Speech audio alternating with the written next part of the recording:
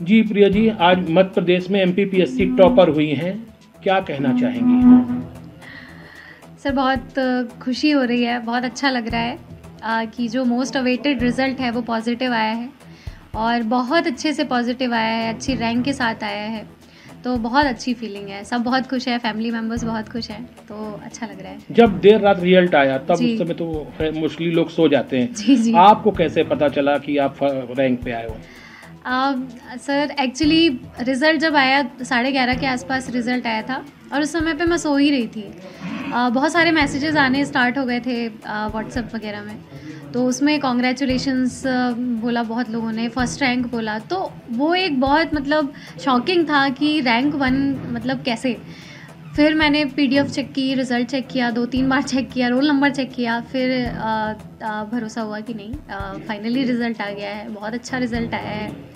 फिर पेरेंट्स भी सो रहे थे तो फिर उनको जगाया उनको न्यूज़ शेयर की उनसे और थोड़ा इमोशनल मोमेंट भी था वो अ, तो वो भी बहुत खुश थे फिर कोई नहीं सोया रात में।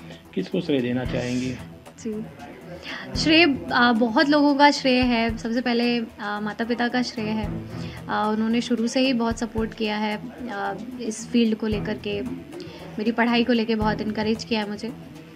उसके अलावा सारे टीचर्स जिन्होंने मुझे के जी वन से लेकर पढ़ाया है, सरस्वती शिशु मंदिर के शिक्षक सारे और सभी नव जवाहर नवोदय विद्यालय के शिक्षक और उसके बाद जो भी कॉलेज में, जो भी कॉलेज में जितने भी टीचर्स रहे हैं, उनका सपोर्ट उनका इनक्रेजमेंट वो सब मैं कहूँगी कि उन सभी को श्रेय जाता है। उसके अलावा मेरे पूरे फ्रेंड्स जिन्होंने मुझे मोटिवेट करके रखा है लंबे समय तक, जो भी स्ट्रेस होता था, कभी डिमोटिवेशन जैसा फील होता था तो उन्होंने मुझे बिल्कुल इनक्रेज किया है आगे बढ़ने के लिए।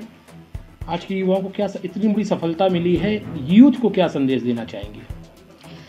यूथ को संदेश मेरा यही है कि डिस्ट्रैक्ट नहीं होना है, क्योंकि अभी जो हम देख रहे हैं सोशल मीडिया का दौर है तो उसमें बहुत सारे डिस्ट्रैक्शन हैं। आपको अपनी स्ट्रेंथ फाइंड करनी है। जो भी आप, जिस भी फ़ील्ड में आप अच्छे हैं, उसको आपको रिकग्नाइज़ करना है और उसमें आगे बढ़ना है। और आगे बढ़ने के लिए जितने भी चैलेंजेस हैं, आप उन्हें ओवरकम बिल्कुल कर सकते हैं, अगर आप खुद में भरोसा रखते हैं। आपको ऐसा लगता है कि आप वो कर सकते हैं तो बिल्कुल आप करें और अपनी मेहनत पर भरोसा रखें। भगवान पर भरोसा रखें, क्योंकि इवेंचुअली जब आप किसी एक लक्ष्य की तरफ़ बढ़ते हैं तो वहाँ हर एक चीज़ इंपॉर्टेंट हो जाती है, चाहे परिवार हो आपका आपका, आपके खुद की मेहनत हो, भगवान का आशीर्वाद हो, ये सब कुछ बहुत ज़रूरी है। तो एक सही दिशा पकड़नी बहुत ज़रूरी है। तो आप सही दिशा की तरफ़ बढ़ें और आप जिस भी फ़ील्ड की तरफ़ आप आगे बढ़ें तो उसमें मेहनत करते रहें और उसमें आपको सफलता ज़रूर मिलेगी।